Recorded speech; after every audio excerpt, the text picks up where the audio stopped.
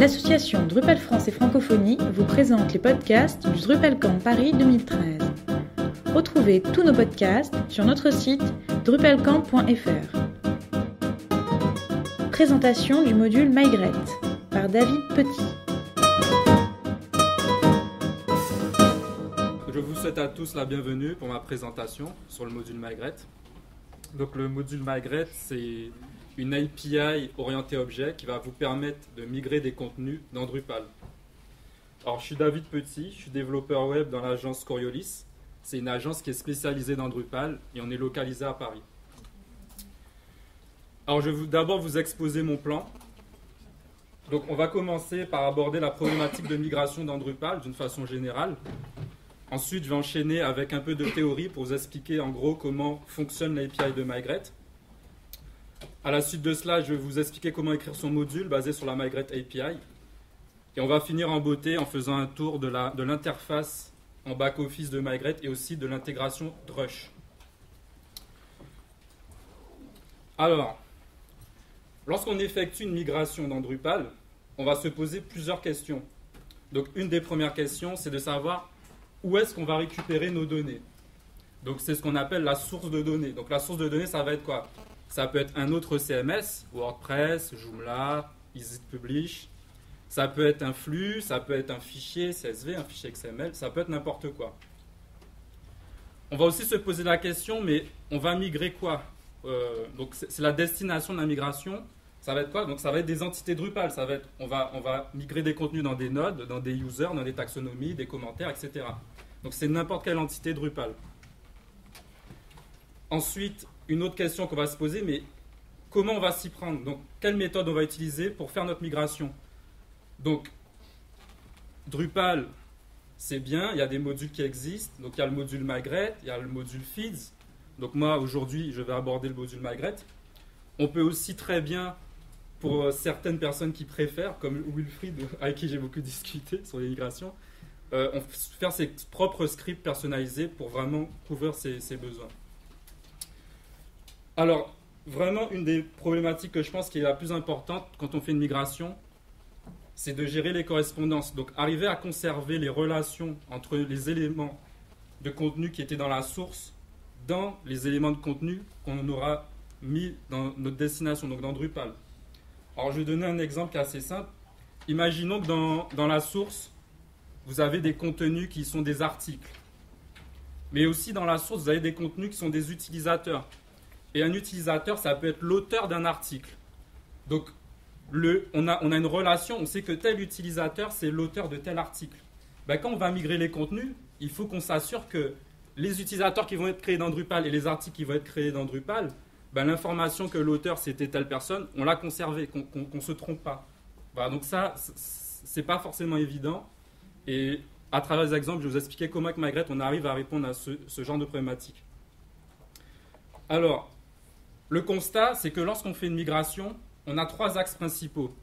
C'est la source de données, la destination, donc la destination dans Drupal, et répondre à toutes les problématiques de mapping. Donc, les problématiques de mapping, c'est de, faire les relations entre la source et la destination, mais c'est aussi mapper les champs. Donc, un champ dans une entité Drupal, je ne sais pas, un fil d'image, savoir que ce fil d'image-là, il va, il va récupérer euh, son image, ben dans la source, il va récupérer dans un champ qui s'appellerait photo, par exemple.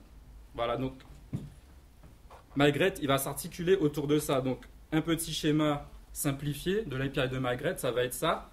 Ça va être un objet de migration qui englobe un objet source, un objet destination, et enfin un objet map qui, lui, va être chargé de garder la relation entre nos sources et nos destinations.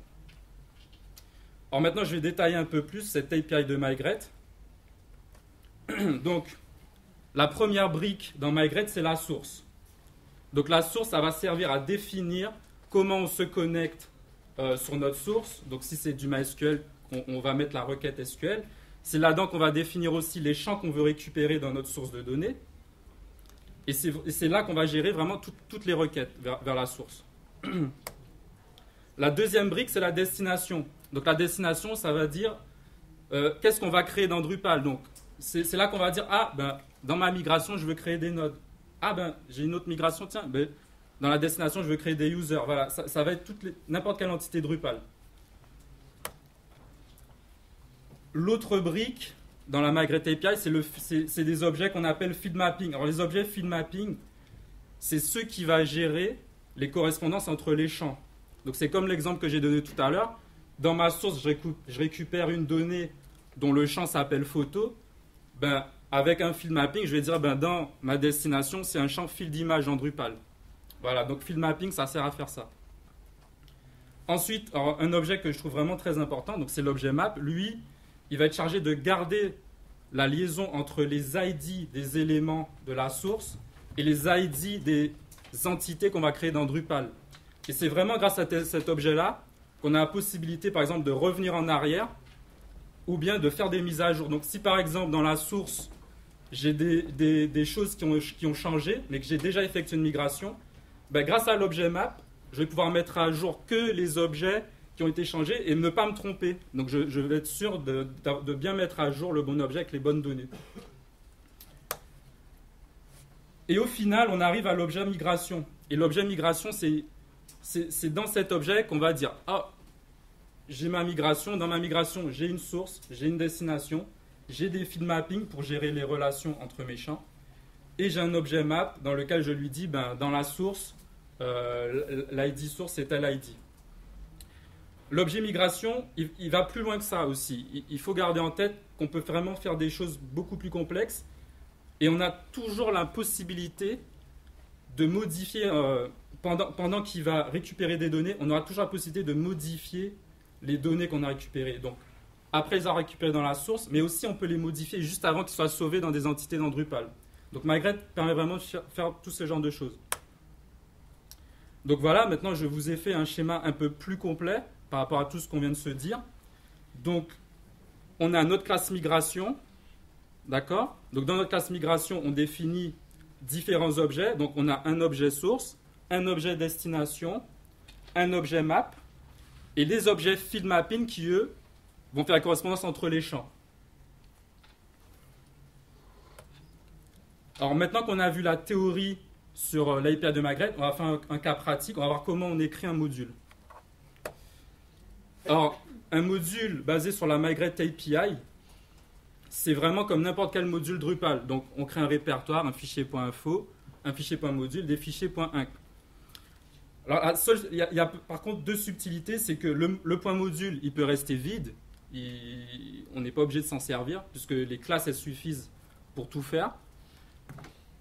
On a le fichier qui, lui, va servir à enregistrer nos noms de classes. Donc, c'est un fichier vraiment qui est obligatoire. Si jamais on n'a pas de fichier .migrate. Migrate, il ne sait pas qu'il y a telle ou telle classe de migration qui sont dans nos modules. Alors, je vous, ai mis un exemple de fichier .info. Donc, c'est vraiment comme n'importe quel fichier .info dans, dans, un module. Donc, on a le nom, la description, le package, la version. On, définit une dépendance sur le module migrate, puisque on veut faire un module qui se base sur la migrate API. Et on définit tous les fichiers qui sont inclus dans notre module. Donc, ça va être les fichiers qui contiennent nos classes de migration et aussi ce fameux fichier migrate.inc dans lequel on va enregistrer les noms des classes. Alors, j'en viens justement à ce fichier .migrate.inc, donc dans lequel on a notre hook migrate API. Et dans ce hook, on lui, dit, ben, ah, ben, dans mon module, j'ai deux migrations, une migration qui s'appelle user migration, une migration qui s'appelle page migration. Et la clé, euh, vous voyez bien class name, c'est user migration. Par contre, le nom dans migrate, c'est user et c'est page. Donc c'est, on enlève migration, donc c'est un peu une norme dans, dans. C'est comme ça qu'on écrit, qu'on définit nos classes. Alors, maintenant que vous avez vu que pour, écrire pour, pour, faire votre module, vous avez fichier.inc, migrate.inc, voilà. Bah, dans, notre, dans un fichier.inc où on a une classe de migration, notre classe de migration, elle aura cette allure en fait. Donc, comme je l'ai dit, c'est une API orientée objet. Donc, notre migration, c'est un objet. Donc là, on a la classe. Dedans, on a un constructeur. Et on définit à l'intérieur toutes les briques de notre migration. Donc on a un objet source, un objet destination, un objet map et des objets field mapping. Donc là, je vous ai mis juste ça pour que vous ayez un aperçu, mais on va détailler et vous aurez un exemple vraiment concret euh, à la fin de cette partie. Alors, je vais m'attaquer aux sources. Donc, j'ai mon fichier .inc, je commence à écrire ma classe et je veux définir ma source. Alors, il faut savoir que Migrate, c'est vraiment une API qui est bien pensée et il y a déjà des classes prêtes à l'emploi. Donc, si par exemple, moi, dans ma migration, je sais que je dois me connecter à une base MySQL, ben, j'ai une classe prédéfinie qui s'appelle MigrateSourceSQL. Je vais utiliser cette classe pour, définir un objet SourceSQL. Donc c'est ce qu'on voit dans nos, exemples ici. Donc si je veux définir une source SQL, j'ai ma classe SQL, à laquelle je passe en argument ma requête MySQL. Si par exemple ma source est un CSV, ben ah, bah, je vais utiliser la classe MigrateSourceSV qui est déjà prête. Et à l'intérieur, je lui passe en argument toutes les options qu'il faut. Donc, le passe vers mon fichier CSV, etc., etc. Donc là, c'est comme ça que ça va se passer. Quand on va écrire notre module, on va définir notre source, on va utiliser des classes qui sont déjà toutes prêtes. Pour la destination, ça va être un peu la même chose. On, peut, on va définir si on veut créer des nodes, des users, des taxonomies, etc et Migrate qui, est vraiment bien fait, ben, il y a déjà des classes prédéfinies. Donc, imaginons, je veux créer des users dans une migration, je vais utiliser la classe Migrate Destination User et lui passer en argument un certain nombre d'options. Donc, comme dans, mon exemple, vous voyez, on peut lui passer la langue par défaut, un format texte par défaut, etc. etc. Pareil pour mon node, je, veux faire une classe de migration où je crée des nodes, ben, je vais utiliser la classe qui est déjà prête, qui s'appelle Migrate Destination Node. Et pareil, je lui passe en argument un certain nombre d'options, dont le bundle ici. Donc, dans l'exemple du node, là, on va créer des nodes de type page. Donc voilà, donc je vais passer en argument page. Alors, maintenant, les objets feed mapping, donc ce sont les objets qui, eux, vont permettre de dire, ben, tel champ que j'ai récupéré dans ma source de données, ben, ça correspond à tel champ dans l'entité que je vais créer. Donc la première ligne, $6 at field mapping title titre page, ça veut dire ben, dans ma source de données, j'avais un champ qui s'appelait titre page. Récupère-moi ce qu'il y a dedans et mets-le dans le champ title dans l'entité Drupal. Voilà. Donc c'est vraiment une syntaxe assez simple à comprendre. Après, il y a donc là je l'ai mis pour, que imaginons les titres des champs c'est les mêmes dans la source à destination. On peut imaginer une migration de Drupal à Drupal. Ben, s'il y a plein de champs et que c'est les mêmes noms, on a un raccourci, $6 add simple mappings, on met une seule fois le nom du champ dans un array, et Migrate, il va comprendre que c'est le même nom euh, en utilisant add simple mappings. Donc ça évite d'avoir euh, plein de lignes, et en une seule ligne, ben, on déclare tous les champs. Alors maintenant, il y a une nouveauté depuis les dernières versions de Migrate, c'est que ça ne se limite pas à récupérer des, valeurs de champ et à les mettre dans des valeurs de champ dans l'entité, dans Drupal. On peut aussi mapper des propriétés des champs. Et donc dans l'exemple ici, vous voyez que je récupère dans le champ contenu page, le champ, le, champ contenu page, c'est le, le, contenu qui va aller dans body, dans le body d'un node dans Drupal par exemple. Ben, je peux aussi lui dire, ah ben dans un champ, je vais récupérer le format, par exemple full HTML, filter d'HTML, etc. Et avec body de point format, j'arrive à faire ça dans, mon exemple. Alors l'objet map, donc ça c'est l'objet qui va permettre à Migrate de savoir dans ma source de données quel est, quel est le champ que je dois prendre en compte comme étant l'ID unique qui va me permettre de garder mes relations. Donc la subtilité c'est que l'objet map, ça va dépendre aussi de, ça dépend de deux choses. Ça va dépendre de votre source et de votre destination. Et en fonction de ça, vous allez utiliser. Donc ici, si ma source était du MySQL, j'utilise la classe MigrateSQLMap. Et à l'intérieur, je lui dis, ben, le champ ID page, c'est l'ID de la source, c'est lui l'ID. Donc c'est lui qui, donc il faudra regarder la trace pour faire mes mappings entre mes objets. Donc cet objet-là, il sert à ça. Donc voilà, maintenant que je vous ai montré dans le détail chaque brique de, de Migrate. Voici un exemple concret de classe de migration. Donc ici, on a une classe de migration de user donc, qui s'appelle user migration. Euh, à l'intérieur, on fait quoi? Je définis, définis d'abord ma source. Donc j'ai ma requête, je récupère dans une table qui s'appelle example user, je récupère UID, status, mail et name. Voilà, et je définis ma source en fonction de cette query en utilisant MyGetSourceSQL. Ensuite, je définis ma destination. Je lui dis, je veux créer des users. Donc, je, je, fais un destination égale new migrate destination user. Donc voilà, la destination, c'est assez simple. Ensuite, comme les noms de mes champs dans la source, ce sont les mêmes que ceux qui sont dans les users dans Drupal, donc name, mail, status, c'est exactement les mêmes. Donc j'ai utilisé add simple mappings pour mapper mes champs. Et enfin, mon, mon, objet map, ben, comme on, on, vient de le voir précédemment, je lui dis, ben, le champ qui s'appelle UID, ben, c'est lui qui sert d'ID pour mes utilisateurs de la source. Donc c'est sur lui qu'il faudra baser pour garder la trace des ID. Maintenant, un autre exemple avec un node. Donc c'est un peu pareil que pour un user, sauf que j'utilise MigrateDestination node auquel je, lui fournis en argument le bundle, donc le type de contenu, donc qui est page. Je veux créer des nodes de, type page. Dans, ma migration de node, contrairement à ma, migration de user précédente, les noms des champs ne sont pas les mêmes, donc je suis obligé de faire des add field mapping pour définir mes field mapping. Donc je lui dis, ben, le champ CP title, ben, c'est le title dans Drupal, le champ CP body, c'est le body, et le champ ID auteur, ben, c'est l'UID de, l'auteur. Donc l'UID dans le node, c'est l'auteur du node. Et on a le map, euh, l'objet map en bas, où je lui dis que, je vais, voilà, je lui dis que le, le CPID, ben, c'est l'ID dans ma source qui correspond à l'ID unique et sur lequel il faut que je base mes maps.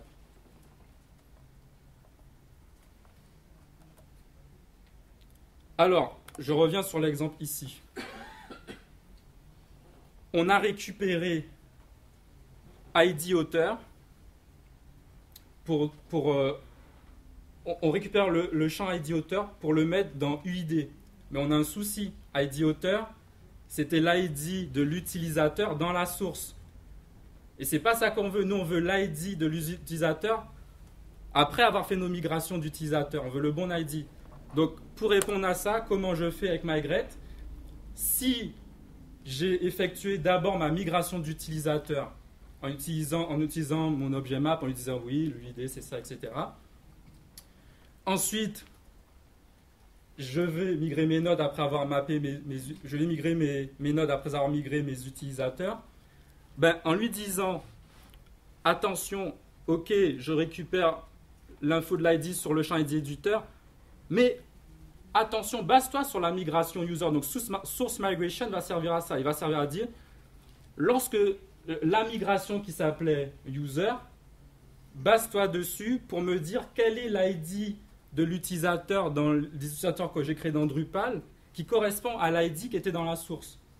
Et c'est comme ça qu'il va pouvoir, euh, c'est comme ça qu'on va, qu'on va pouvoir dire que dans nos, nos articles, par exemple, dans Drupal, on a bien le bon l'auteur, on a, bien, récupère bien le bon ID d'auteur, c'est-à-dire l'ID de l'utilisateur qui correspond dans Drupal et pas l'ID qui est l'ID de la source. Donc c'est vraiment quelque chose de vraiment très intéressant et qui répond à une grosse problématique. Et donc au final, on va se retrouver avec cet exemple-là où c'est le même que le précédent, sauf que je lui précise que l'ID auteur, non, c'est pas l'ID auteur de la source. Il faut que tu le transformes en ID de l'utilisateur, mais que, j'ai migré moi dans Drupal. Voilà.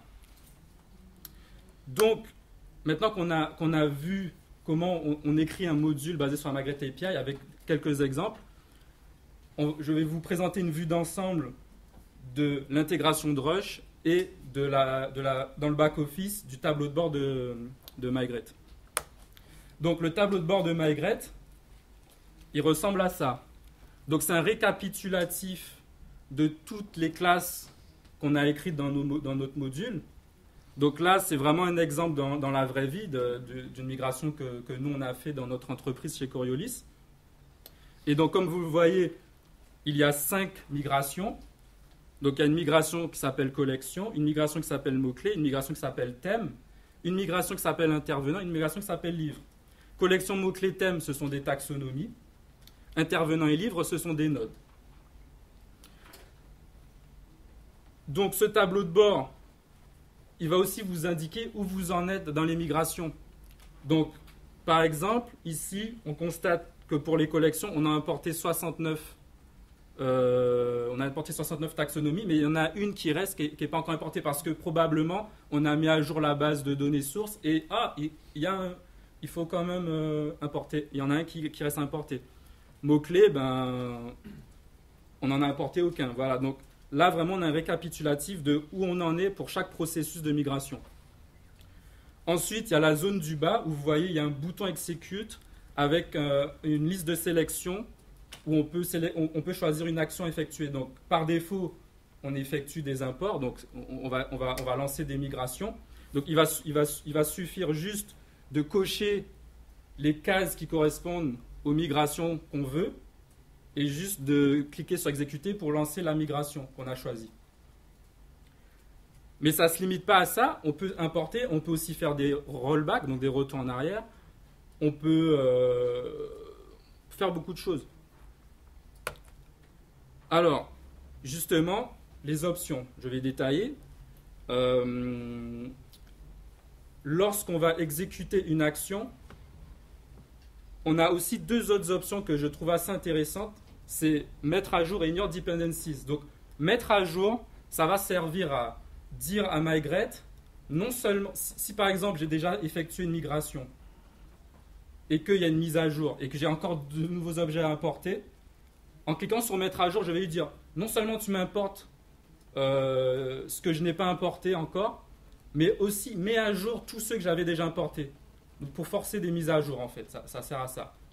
Inner dependencies, ça sert à je ne l'ai pas évoqué, mais dans nos classes de migration, on peut créer des dépendances. On peut dire, euh, ben, ma classe de node, elle peut s'exécuter que si tu as importé tous les users, par exemple. Et en cliquant sur Inner Dependencies, ben, ça va servir à dire, ben, même s'il y a des dépendances, exécute quand même ma migration parce que j'ai vraiment besoin de tout exécuter et tant pis, on fera des mises à jour après. Donc ça, ça, ça, ça, ça, peut être utile dans certains cas de figure. Donc voilà, alors je reviens ici. Donc vous avez vu, j'ai mes, noms de migration qui sont en bleu. Ben, en fait, c'est des liens. Donc si je clique sur intervenant, par exemple, j'arrive sur cette page. J'arrive sur la page qui va récapituler en détail tout ce qui concerne ma migration. Donc l'onglet destination, par exemple, qui correspond à ma migration des intervenants. Donc là, vous voyez bien, c'est les intervenants. Donc, l'onglet destination, je vais avoir un récapitulatif de tous les champs de l'entité que je peux alimenter via Migrate. Et ce qui va se passer, c'est que si jamais dans ma classe de migration intervenant, il y a un champ où je n'ai pas défini de field mapping, il va apparaître en rouge. Et ça, c'est super utile. Si par exemple, euh, on a fait tous nos codes, on a écrit notre classe de migration, on a tout fait, on pense qu'on a tout bon. On va dans l'interface, on va Ah, zut, j'ai oublié de mapper tel champ. Et ça, c'est super utile. Pareil, l'onglet source, ça sert à la même chose. Donc, on a un récapitulatif de tous les champs qu'on a récupérés dans notre source de données. Ben, il peut arriver qu'on ait récupéré un champ, mais il correspond à rien dans, notre migration. Donc là, ça veut, là aussi, on pourra dire Ah, j'ai récupéré tel champ, mais, ah, mais il faut que je le mette dans, tel autre champ. C'est pour ça que je l'ai récupéré. Voilà.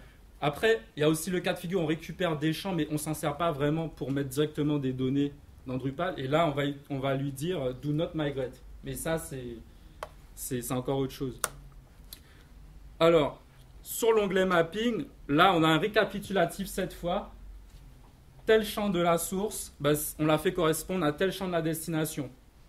Et ça aussi, c'est utile parce que imaginons, donc là, tout est bien, donc il n'y a pas de souci, mais imaginons, je me trompe au lieu de, au mettre euh, intervenant nom dans, avec HW intervenant nom, imaginons je mets prénom. Et eh bien là, je peux me permettre de me rendre compte de cette erreur assez facilement. Donc voilà, le, back-office, euh, en back-office, quand on regarde les détails qui concernent la classe de migration qu'on a écrit dans nos modules, c'est assez utile pour faire des vérifications en fait. Alors, je reviens en arrière. imaginons que je clique sur intervenant. Je choisis rollback and import. Je clique sur execute. Qu'est-ce qui va se passer? Je vais arriver sur une page et ça va ressembler à ça. Donc j'aurai des batch operations et en temps réel, je vais être informé de où j'en suis dans, l'action que j'ai exécutée. Donc là, on voit, il fait tous les rollbacks, donc il retournera, donc il va, il va supprimer tous les nodes et va réimporter de nouveau des intervenants. Et puis comme ça en temps réel, voilà, donc euh, en Ajax, ça se met à jour. Donc voilà, là, j'ai fait, on a fait un tour d'ensemble de Migrate au niveau back-office avec la user interface de Migrate. Maintenant, je vais parler de l'intégration avec Drush. Donc, Drush, avec Drush, on a accès à beaucoup de commandes. Beaucoup de choses sont possibles, beaucoup plus de choses que dans le back-office. On peut faire de l'audit, on peut désenregistrer des classes, on peut faire vraiment beaucoup de choses. Et donc ça, c'est un des intérêts de Drush, c'est que vraiment on peut aller beaucoup plus loin que ce qu'on fait avec l'interface. Donc dans la pratique, avec Drush, ça va donner quoi? Si je veux importer des articles et que le nom de ma migration c'est article, ben je fais drush mi article, hop c'est bon, il va importer tous mes articles. Si je veux forcer un update, je fais un drush mi article update. Si je veux importer que 100 articles, je fais un drush mi article limit égale 100 items. Voilà, donc c'est la syntaxe est assez simple et on peut faire ça assez vite. Alors, on a parlé de Drush, on a parlé de la Migrate User Interface. Euh, maintenant, on, peut, essayer de, les comparer. C'est quoi l'intérêt de l'un par rapport à l'autre? Et évidemment, Drush, euh, c'est plus performant. On, on, peut faire plus de choses, ça va plus vite. Et aussi, quelque chose que moi je trouve vraiment bien avec Drush, c'est le debug. C'est-à-dire, tout à l'heure, je vous ai dit, pour importer des articles, je fais un drush mi article. Si par exemple, il y a un bug dans ma migration, je fais un drush mi article debug, je vais avoir plein d'informations qui remontent et je vais arriver à trouver c'est quoi l'origine de mon bug. Et si on utilise l'interface, on ne peut pas faire ça, on ne peut pas aller aussi loin. Et, ça, je trouve vraiment, pour le coup, avec Drush, ça, c'est vraiment intéressant. Donc voilà, donc moi, mes recommandations si vous vous lancez dans Migrate, vous, que, vous avez un projet de migration, vous écrivez mode module, etc., la Migrate User Interface, utilisez-la vraiment pour vérifier que vous n'avez pas oublié de mapper tel ou tel champ, parce que ça va apparaître en rouge. Donc là, comme ça, vous serez sûr que vous avez quelque chose de... vous n'avez rien oublié. Ou bien que vous n'avez pas fait d'erreur. Ensuite, Drush, par contre, vous allez l'utiliser pour exécuter des migrations. Parce que c'est plus performant et parce qu'on peut faire du debug. Donc voilà, ça, ce sont vraiment mes deux recommandations si vous vous lancez dans l'aventure Migrate. Alors, pour finir, si vous voulez aller plus loin, moi, je vous invite à aller à la page du projet, où il y a un certain nombre d'infos, et surtout la page de, documentation, qui vraiment est très très complète, et où on va vraiment vraiment plus loin. On va des cas de figure très compliqués, et c'est assez concret. Donc voilà, je vous remercie d'avoir euh, écouté ma présentation et on peut passer à la séance de questions si vous le voulez bien.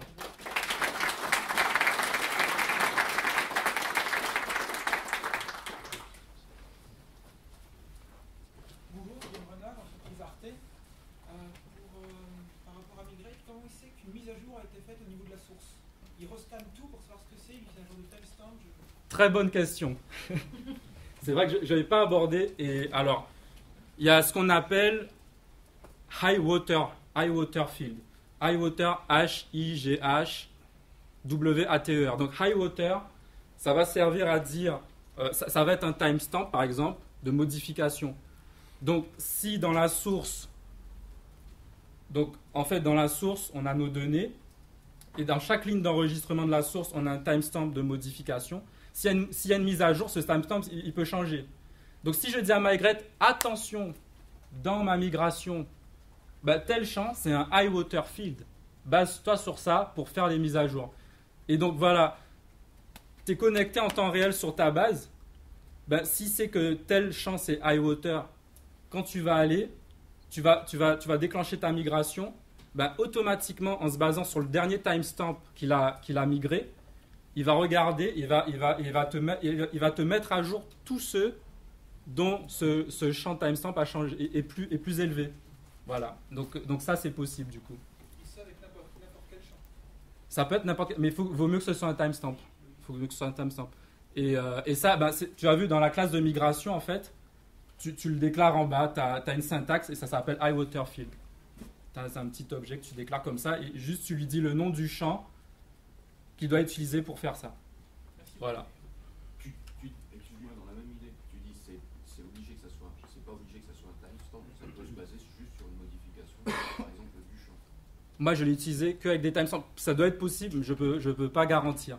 Il, faudra regarder dans la documentation. Mais en général, on utilise des timestamps pour, euh, pour ce en genre de choses. sur tel. Champ, voilà. Ça peut être, ça peut être un champ date à la limite. Un champ date qui n'est pas un timestamp, ça marcherait. Je sais pas parce qu'il quand même fait une comparaison. Il fait un if si ton champ est supérieur au dernier truc, il faut quand même qu'il y ait un, un- ah, ça peut être un nombre, mais il faut qu'il puisse faire une comparaison en fait. Tu peux pas juste lui dire ah ce champ-là mets-le à jour. Euh, ça marche pas vraiment comme ça en fait. Euh, moi j'ai une question au niveau des ce qu'on appelait le node référence. J'ai une Oui. série d'articles, Oui. d'accord Euh, Les articles entre eux sont reliés, Oui. sauf, sauf que je peux avoir un article euh, qui n'a pas encore été créé avec Oui. lequel il faut que je mappe. Oui. Alors ça, Est-ce que c'est possible avec Minecraft Parce que du coup il n'est pas encore créé, mais quand Si, tu peux. 2, je peux pas lui dire on va le chercher. tu peux ce que tu fais. Tu tu crées, tu, tu migres, tu migres des articles, tu migres les autres, les autres entités, d'accord? Après, tu relances une migration en mode euh, update pour forcer les mises à jour. Et donc, c'était le temps qu'il ait pu créer les trucs qui n'avaient pas été créés au moment où tu l'as migré. Et du coup, c'est toujours possible. C'est juste que tu vas t'y prendre en plusieurs fois. D'accord, il faut Donc- faire. Donc voilà, imaginons, on a plein de contenus avec des relations compliquées. C'est pas grave, on va tout migrer dans un ordre optimal euh, qu'on va définir. Et après, on va les remettre à jour une fois que tout a déjà été créé. Et là, il, il va tout remettre à jour et il va se retrouver et pourra dire Ah, mais ça, c'était tel truc. Voilà, c'est lui, etc. etc. C'est-à-dire, au moment où il n'existe pas, il va rien faire. Ton node référence, il sera vide. Et quand tu vas relancer une deuxième fois en mode mise à jour, vu qu'il a été créé, il va le retrouver et là, il va le mettre.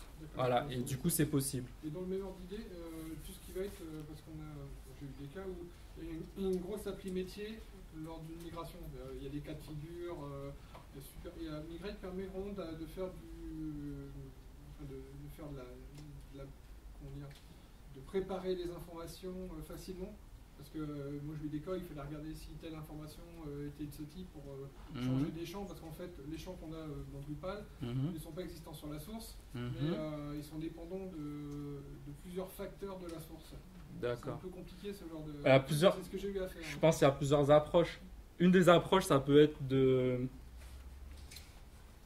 Quand tu as vu, en fait, je l'ai dit, il y, a des- il y a- il y a des méthodes que je n'ai pas évoquées pour des raisons de temps, mais euh, il, y a, y a y a- trois méthodes intéressantes. Il y a Preparo, Prepare et Complete. Et Preparo, notamment, ça va te servir à, par rapport à ce que tu as récupéré dans la source, euh, tu peux faire des modifs, faire des combinaisons de champs, ce que tu veux, et t'en servir après pour créer un, un, un champ, on va dire, un champ virtuel. Et, à partir de ce champ virtuel-là, tu peux faire des choses, euh, voilà, que, tu pourrais- des choses que tu pourrais pas faire en, une seule requête. Bah, avec Preparo, en customisant les données que tu as récupérées, en faisant éventuellement une autre requête, tu pourras alimenter euh, d'autres champs. Que tu, voilà, pour des cas compliqués, c'est possible comme ça. Ou sinon, l'autre alternative, c'est que euh, tes données sources euh, sont déjà bien faites. Je sais pas comment expliquer. Par exemple, tu as, des jointures multiples, tu as plein de tables, tu occupes de tout dans tous les sens. Tu te débrouilles en amont pour créer une base de données avec une table qui est vraiment uniforme. Et après, Migrate va se plugger dessus et lui, il a juste à mapper que, tout simplement les champs. Voilà. Donc, tu as les deux approches, mais tout est possible à mon avis. Juste pour rebondir sur le principe de, lots de référence Oui. qui n'existe pas encore, Mhm. euh, Migrate intègre un concept qui résout ce genre de problème qui s'appelle les stubs. Les Stubs. Oui, Stubs. ouais. Donc en fait, c'est une méthode implémentée Mm. dans les classes de migration qui va permettre à Migrate de savoir s'il va migrer ou pas. Euh, dans le principe des notes de Mm.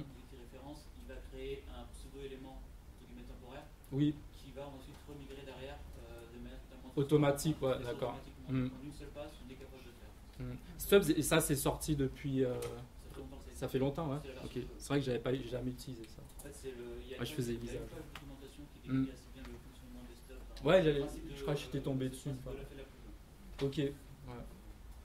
C'est documenté, ça marche assez bien. Ok. Bah super, je, je, je, l'essaierai la prochaine fois.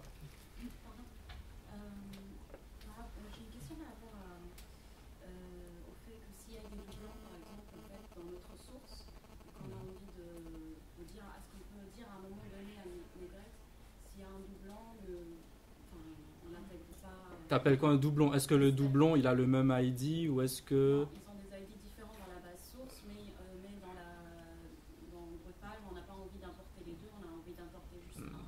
Mais de, de référencer sur Mm. la source, par exemple, de dire euh, ces deux ID-là, ça Mm. correspond à un seul node. euh, en- Ça me paraît un peu dur. Après, faut peut-être, faudrait peut-être dans.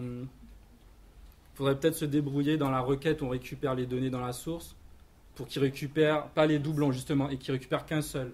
Mais ça, ça- peut se faire. Ah oui, je vois ce que tu veux dire. Bah sinon, euh, tu refais une autre table intermédiaire où tout est clean. Enfin, tu peux le faire en deux temps, Ouais. Ouais, je pense euh, c'est mieux. Enfin, comme ça, on est sûr que on fait les choses bien.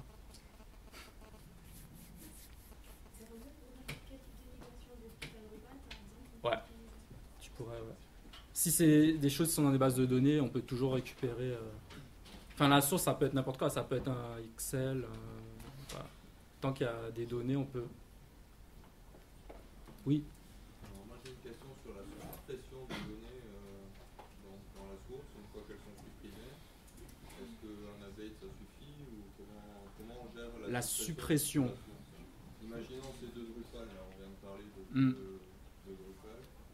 Voilà, je supprime euh, l'utilisateur 3, euh, comment je peux le migrer sur, euh, sur l'autre base Alors, malgré suppression. Le fait qu'il ait été supprimé.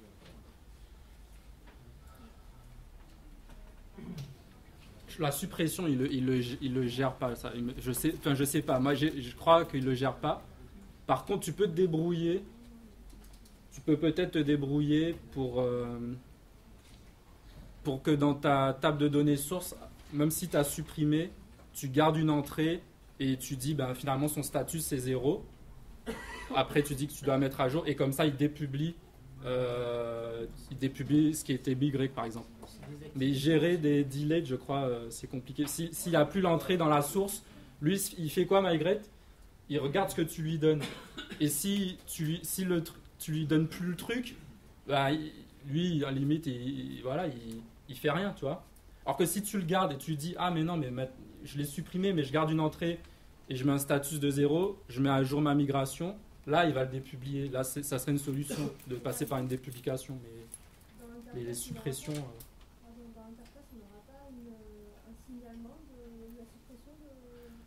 euh, alors, la source ce qui va se passer, c'est que tu auras dans, le, dans la colonne où on te dit le nombre de choses que tu as importées et ce, et ce que tu dois encore importer? Si tu supprimes quelque chose, bah, ça va mettre un nombre négatif.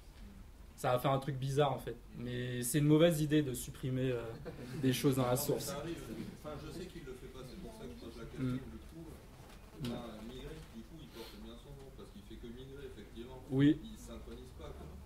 Donc, euh, Non, tu, tu migres. on peut avoir. Est-ce que ça marcherait simplement de faire un rollback en disant ok, rollback, donc Alors, tu tue tout ce qu'il y a à la destination. ça, ça marcherait. Ça, ça marche. Mais si tu as 10 000 nodes et que tu les rollback pour les recréer, c'est une galère. quand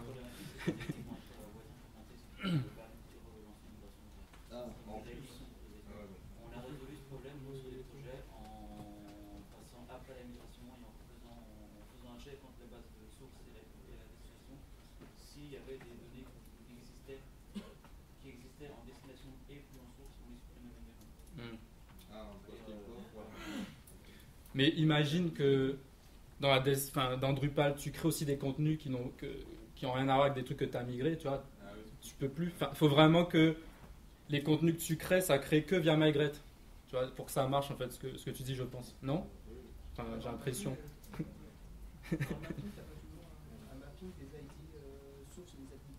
si, si, bien sûr. Mais si ton ID n'est plus dans la requête source. Ouais, mais tu l'as toujours dans d'accord. Mais après, oui, tu pourras te débrouiller euh, avec, avec cette table-là, mais de base, si tu veux, ce que je veux dire, c'est que de base, tu vas à migration, il va pas, il va pas penser à le supprimer. Voilà. Il faut, peut-être si tu fais un petit, un petit code custom qui fait la vérif de toutes les ID qui sont justement dans la table de, map, on peut peut-être arriver à faire ce qu'il dit. Mm. Mais de base, il le fait pas. Euh, pour, euh, pour des, des modules communautaires, quoi, toutes les tables qui sont créées par des modules communautaires, Genre organic group euh, Non. par exemple, mais je suppose que ça, à la limite, c'est peut-être mieux euh, traité quand on est, on va dire, dans les 500 premiers modules que, que dans la masse des, des 90% d'autres. Euh, si c'est une entité, ça pourra faire quelque chose, Mhm. et toutes les autres tables de Drupal qui sont pas des entités, ça va devenir compliqué. Je crois. Mais en discutant avec euh, monsieur bénévole qui est ici, euh, il il euh, on, on discutait avant la présentation et il, me- il me disait qu'il y avait des, des gens qui avaient réussi à utiliser Migrate pour migrer de la configuration. Donc c'est des choses qui n'ont rien à voir avec des entités Drupal finalement. De base, c'est plutôt fait pour des entités Drupal, mais a priori, en se débrouillant, on peut faire, on peut faire d'autres choses. Donc peut-être, peut-être Il qu'on peut y arriver. Il faut développer à la limite quelque chose qui se. Genre les chemins d'URL par exemple, c'est du contenu, c'est pas. Aussi, ouais. Aussi, ouais. Le rollback est difficile après. mais de en général, ouais. Mais il faut. Alors, si tu fais un handler de destination custom, on va dire, il faut que ça corresponde quand même à une entity, me semble, dans Drupal. Enfin, je crois, je crois. Par exemple, euh, ouais, c'est ouais, c'est ça. Mais peut-être que je me trompe, hein, peut-être qu'on peut faire des. Du fait que Des la des- taxonomie, c'est pas exactement une entité sur Drupal 6, et en gros, on peut faire des handlers n'importe quoi. Ok, d'accord. Ok. Bon, ben, c'est possible. champ Ouais. faut Non, mais le savoir, handler de que c'est différent. euh, euh, avant, on avait le module qui s'appelait Commerce Migrate Extra, qui fournissait un certain paquet de, de, de handlers de destination. Euh, ce module, en fait, est maintenant déprécié. Euh, Mm. Le mainteneur de Migrate souhaite euh, virer ce module. D'accord. Et en fait, il pousse euh, les mainteneurs des autres modules à intégrer en fait, ces Oui, handlers dans leur Oui, c'est ça. Par exemple, pour, euh, Pour Date, pour date, pour. euh, Je suis sûr qu'il y a un sacré paquet de personnes qui a Oui. oublié d'activer Date Migrate. Voilà, c'est ça, c'est ça, Qui exactement. en fait le handler de migration pour le module Date. la majorité des modules euh, dont on se sert le plus souvent, ils intègrent un migrate.inc avec toutes les classes qui vont bien de destination, de, C'est- des c'est- handlers de, c'est- de fil de destination C'est pour. de pousser la charge gérer les sur champs. un mainteneur même titre que Simple Test, même titre que Views, etc. Ah oui, parce qu'au bout d'un moment, euh, Commerce Migrate Extra devient un module énorme et Mhm. euh, on a besoin des fois d'un ou deux champs dedans. Et est-ce qu'on est obligé d'activer un handler pour euh, 50 Ouais, c'est, c'est, c'est dommage. Mm. Sinon, après, tu fais toi-même ton handler euh, pour, euh, pour tel champ. Ça, ça, ça, ça c'est, c'est pas très dur. Ça, ça, ça, c'est pas... Mm. Euh, et pour le multilinguisme, euh, on, a facilement de, euh, plusieurs contenus sur, euh, pour, pour le relationnel. Alors, bonne question. Faut que je réfléchisse. Bon, euh, bon, si on prend Easy Publish, qui lui a. Euh, alors, il y a, c'est vrai qu'il y a le module pour euh, migrer peut-être Easy Publish, je sais pas, mais Mhm. euh, lui il a euh, son contenu, il a euh, 10 traductions. Bon, ça va être. euh, Je pense que- 10 imports à faire, mais c'est en fait, Mhm. ils sont tous reliés les uns aux autres. Parce qu'avec Migrate, on peut toujours garder cette, cette relation entre euh, le source et, euh, et les autres. faut voir l'intégration, par exemple, de i18n ou tout ça avec Migrate. Après, dans, moi, je pense au niveau plus basique. Enfin, après, ça dépend. Est-ce que tu traduis dans les champs ou est-ce que tu traduis aussi par node? Déjà, il y, a ce- il y a- il y a cette problématique-là. Ça enfin, ça dépend des, des CMS, ils n'ont pas tous les mêmes. euh, Non, mais je veux dire, dans, dans Drupal 7, tu as le choix des deux approches. Tu peux choisir, tu peux choisir de faire ta trad avec euh, NCT, euh, je sais plus quoi, NCT Translation. Donc là, tu vas, tu vas faire tes trades sur les fields, mais tu peux faire des trades euh, avec i18n. Tu as un node français, un node anglais, et lui, il sait que l'ID du truc source, ben, c'est ça. Enfin, voilà. Mais ça veut dire que tu dupliques tes, tu dupliques tes, as un node par langue en fait. C'est soit tu as un node par langue ou tu as un seul node et c'est dans les champs. de- Et en fonction de ces deux approches-là, ben, migrate, ben, il faudra adapter. Si- S'il n'y a qu'un node et que tu te débrouilles pour tout faire dans les champs, ben, tu, tu peux. tu as vu, on a parlé des, des sous-champs. Moi, j'avais mis body de point format. Ben, Il y a body par exemple de point language. Et tu lui dis, bah, ah, mais là c'est telle langue pour cette variable. Donc il y a moyen de s'en sortir, mais à mon avis, ça doit être un peu compliqué quand même. Mm. Ah, c'est fini. Ouais. Alors, il y a les C'est seul.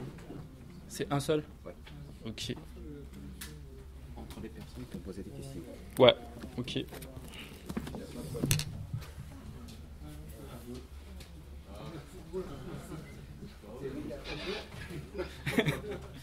Alors non, à la limite, comme tu es le premier, tu peux choisir dans les trois lequel tu fais ça, ça. ça, ça, Ça va Ça va Ok, ben merci beaucoup hein, à tous. Les présentations, les vidéos et les podcasts sont disponibles sur notre site drupalcamp.fr. Retrouvez toutes les actualités de l'association Drupal France et Francophonie sur notre site drupalfr.org. À bientôt!